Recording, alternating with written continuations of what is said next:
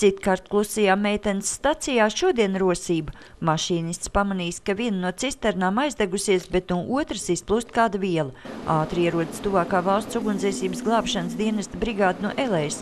Uzsākot dzēšanu, puiši sajūt asu nepatīkamu smaku. Tiek uzvilktas gāzmaskas un izsaukti papildspēki no Jaugavas. Tikmēr noskaidrots, ka izplūstošā viela ir amaņaka ūdens. Notikuma vieta tiek ierobežota un izsludināts paaugstināts bīstamības ugunsgrēks.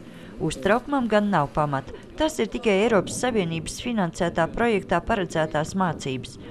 Šī lieta nu, nav tā bieži, kā tāda situācija.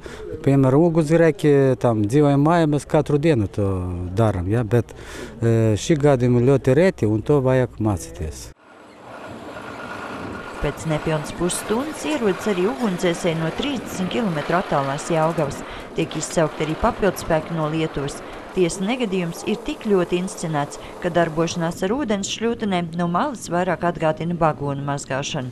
Iesaistīto glābšanas dienestu vadības skaidro, ka galvenais mērķis šoreiz ir pieslīpēt pārobežu sadarbības tehniku, jo iecerēts, ka lietuviešu palīdzība nepieciešamības gadījumā varētu tikt izmantot arī reālā negadījumā. Pēc šīm mācībām mēs pārunāsim un arī parakstīsim savstarpējās sadarbības plānu, un pēc šī plāna turpmāk arī strādāsim. Pārobežu mācībās tika iesaistīts ap 10 tehnikas vienību un 40 dalībnieku.